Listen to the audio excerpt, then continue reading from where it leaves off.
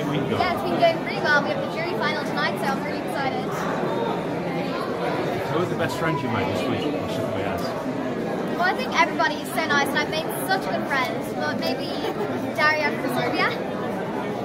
That's a good call, that one. And um, if Ireland don't win, would you like to see win? Well, I'd really be happy for anybody to win. Everybody is so good and is so good. That's a very good answer. Um, good luck this afternoon, Thank good luck so tomorrow. much. Thank you. Bye. Can you see my gum? No. No? No, no, no, no. Hello, it's Richard Smith from Movers in Ireland. I'm here with Mila from North Macedonia. How are you? Hi, I'm good. How are you? I'm very well. Are you enjoying your time here in Poland? Yes, very much. I'm very excited and very honored to be here. And are the rehearsals going well? Yeah, today we had some malfunctions on stage with my ear in, in, in ear, sorry. Uh, but everything went back to normal.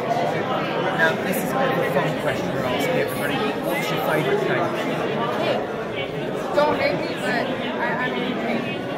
That doesn't matter. Not everybody does. That's fine. Um, Don't take me to jail!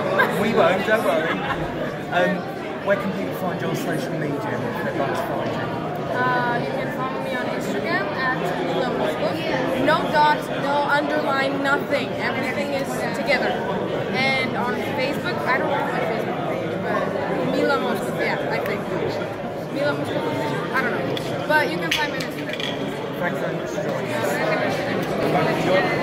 How's how's the rest of your week been? Yeah, been really great. Um, been been doing the preparation, so I'm, I'm now so just so excited to be the stage. Have you got a chance to any more the?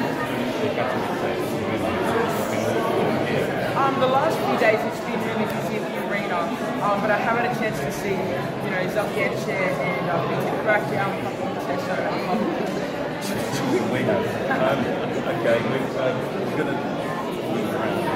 Uh, everyone's really busy. Any final words for you as the Eurovision Ireland winners? yeah.